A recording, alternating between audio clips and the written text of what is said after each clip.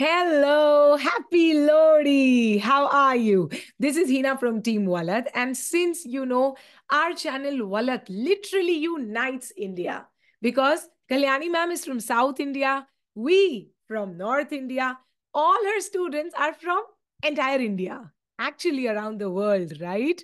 So, Lohri, you know, actually marks the end of winter and the beginning of the coming spring, right? So let's welcome spring with happiness. Today it's going to be bonfire, puja, everything. It'll be great, right? So happy Lohri from us to you. And this is Heena. You know me already. Today's novel of discussion is The French Lieutenant's Woman, a novel written by John Fowles. You know John Fowles. He was a British writer who lived from 1926 to 2005. The French Lieutenant's Woman was published in the year 1969. It belongs to the postmodernism literary period. And the genre of this novel is it is a romance novel. It is a pastiche. It is a historiographic metafiction, which means it actually combines history, fiction, and theory. It is a feminist novel. It is like a lot, okay? You'll come to know. The protagonist of this novel is a woman called Sarah Woodruff, who is also known by the names Tragedy or the French lieutenant's whore. Yes. And the primary setting of this novel is Lyme Regis, which is a coastal town in West Dorset, in the mid 19th century, particularly from 1867 to 1869.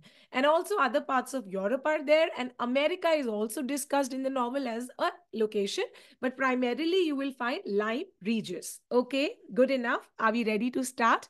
Look at this woman walking, you know, on, by this cliff side. She's looking down. What's happening? Who is this woman? She is Sarah Woodruff. Let's start. Sarah Woodruff lives in the coastal town of Lyme Regis. She works as a governess or like a partner at a wealthy, pious, but hypocritical woman called Mrs. Poulteney. Mrs. Poulteney is depicted like that high class, wealthy, Victorian society woman who is hypocritical, but, uh, you know, on the surface, she pretends to be very charitable and very, very engaging with poor people. No, she's not that. Who is she? Mrs. Poulteney. She is the head, you know, in whose house Sarah Woodruff works. Okay. Sarah is considered to be a disgrace or a tragedy because, because she had an affair with an injured naval lieutenant who was washed ashore. So few years back, there was this French lieutenant whose name was Varguennes Varguennes. He came, he was injured, he was taken care of by Sarah. They fell in love. They, in fact, had a physical relationship, but Varguennes left her, returned to France, married some other woman, and since that time, Sarah is an outcast in her own town. Okay, and she has been taken in by Mrs. Poulteney just because Mrs. Poulteney thinks that she's going to save her soul. Who? the haughty Mrs. Poulteney is going to save Sarah's poor soul. Okay. कहते हैं ना दया दिखाना it's like that understood now whatever little time sarah gets from her profession as a governess she comes here and she starts walking on the cob which is a stone jetty staring out to the sea so she's walking you know on the cliff she's literally just staring at the sea is she waiting for Varguennes? Is she thinking that her life was a waste? What is she thinking? But she's this mysterious woman, always like staring at the sea. Okay? Now meet the male protagonist of this novel, who's called Charles Smithson. Charles Smithson is a paleontologist, or I can say a person who reads about uh, the history of Earth with the help of fossils. Okay? He studies fossils. He's a naturalist He's a Darwinist.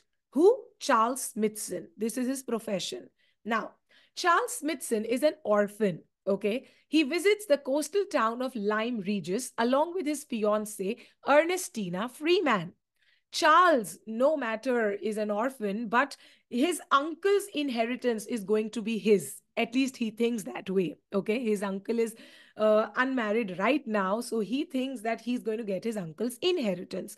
Moreover, Ernestina Freeman belongs from a very wealthy family. She belongs to a wealthy family. So at least Charles knows that, yes, I will have an inheritance. Okay. So Charles is an educated man with a decent income, whereas Ernestina is a simple minded daughter of a wealthy London tradesman. He deals with clothes, drapery business. Who? Ernestina's papa. Now, while walking, you know, on the cliff, they find this mysterious woman looking down, looking at the sea. Who is this woman? Sarah. And who observed her? Charles and Ernestina. Ernestina's aunt, who lives in this town, she's called Aunt Tranter, has told her a little bit about Sarah, but not clearly. So Ernestina knows a little bit, but Charles gets very curious about this woman. Okay. Literally, he gets intrigued, intrigued by Sarah. But because Charles is already engaged, he cannot meet Sarah in open. So he tries to meet Sarah in secret as he goes fossil hunting in the Undercliff. Undercliff is like this wilderness area of Lyme Regis where immoral activities take place. But usually Sarah goes at the Undercliff and she sleeps in the grass. So Charles goes there fossil hunting and meets Sarah. They meet once, they meet twice, they meet thrice. So have they have this three secret meeting without telling anybody. Charles and Sarah's secret meetings. During these three clandestine meetings, first Sarah is unsure whether she should tell the truth of her life. Then she says she wants to tell the truth of her life. Even Charles kind of gets very close to her. These meetings, I can say, bring them very close together. And ultimately, after confusions, ups and downs, Sarah being fired by, you know, her employer, Sarah runs away, but Sarah is found again by Charles. Ultimately, matlab gol mol karke, ultimately Sarah tells, you know, Charles about her life. Sarah says that I slept with this French officer, but we never married. He left me. I'm an outcast in this town, blah, blah. As Destine, Charles falls in love with Sarah. And do you know so much that he's ready to leave Ernestina for her? So he tells Sarah that go to Exeter, leave, you know, this place, Lyme Regis, go to Exeter. I would meet you there. Meanwhile, he goes to visit Ernestina's father. Basically, he does not want to break off the relationship just like that. He wants to do it like a gentleman. He goes to his father. He tells him, he goes to her father, sorry, Ernestina's father in London. And Charles tells him that I have lost my uncle's inheritance. And this is true. Uncle actually married a young girl who, you know, will give him an heir, who will give him a son. So now uncle's inheritance is no more Charles. So Charles is out of inheritance. So Charles goes to Ernestina's father to tell him that, uh, look, I will not have any inheritance after marriage. Are you sure I should marry Ernestina? He just wants to break off like this. Okay. Then after this, after this, the narrator enters. The narrator, who might be the author, John Fowles himself, enters the novel as a character. Can you imagine? Yes he becomes a character and offers three different endings to this novel. So there are three different endings to the French lieutenant's woman. Until now, what has happened? Sarah has gone to Exeter. Charles went to London. And now, three endings. First ending, listen. In ending number one, Charles will marry Ernestina. How? From London, Charles does not go to Exeter to meet Sarah. Rather, he returns to Lyme Regis, affirms his love for his fiancée Exeter, uh, sorry, Ernestina, affirms his love for his fiancée Ernestina, and the two marry. After this, Charles starts working with his wealthy father in law in the drapery business.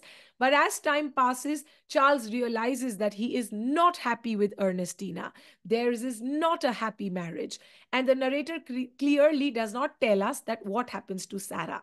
So Sarah remains a mystery in the first ending. But, but, narrator dismisses this first ending quickly, saying that this is just a daydream by Charles. This ending did not happen. This ending did not happen. This is just a daydream. With this, we move to the second ending. But before the second ending and the third ending, the narrator is seen on a train journey along with Charles. On this train journey, the narrator tosses a coin, like how it is done at the start of a cricket match, heads or tails. He tosses a coin, okay, to decide which ending he should tell first. And after he tosses the coin, he decides to tell this ending as the first. That is the second. Okay. So listen to the ending number two. In this, Charles is left all alone, but hopeful. How? Charles meets Sarah and the two spend a passionate time together physically. During this time, Charles realizes that Sarah was lying. She is indeed a virgin. Remember, Sarah said that I had a physical relationship with the French lieutenant, but Charles realizes that she is a virgin. Charles gets so emotional that he breaks off his engagement with Ernestina, proposes to Sarah through a letter. But sadly, this letter never reaches Sarah. Why? Charles' servant, whose name is Sam, fails to deliver the letter. But Ernestina's father has already disgraced him, and his uncle has married, leaving him with no inheritance. So now Charles does not have Sarah. Charles does not have money. Charles feels suicidal, depression. To escape his overwhelming sadness, he travels to Europe and America. Whereas an ignorant Sarah, who knows nothing that, you know, Charles has left Ernestina for her, she flees to London. Two years later, Charles' lawyer, whose name is Montague, he finds Sarah in London. She's living happily in the Chelsea house of the painter and poet Dante Gabriel Rossetti. Can you imagine? So if a question comes, DG Rossetti appears, you know, as a character in, it is the French lieutenant's woman. Okay. So Sarah is living creatively, artistically in DG Rossetti's house, Charles' house. Uh, sorry, DG Rossetti's house, which is called as Chelsea House. But then Charles realizes that Sarah is a child. Sarah has a child, and the father of this child is Charles. Can you imagine? Charles realizes that Sarah's child is in fact their child, Charles and Sarah's. This makes Charles so happy and so hopeful that he would finally reunite with Sarah along with the child. The three will reunite. Who three? Charles, Sarah, and their child. With this, the second ending is done. Now, the third ending.